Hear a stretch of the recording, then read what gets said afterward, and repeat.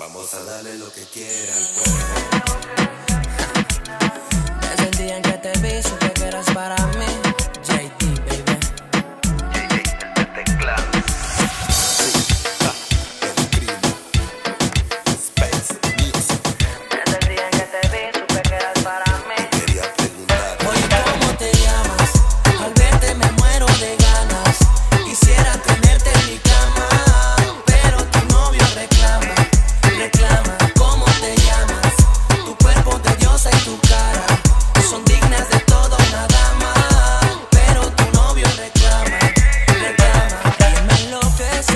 Caminar,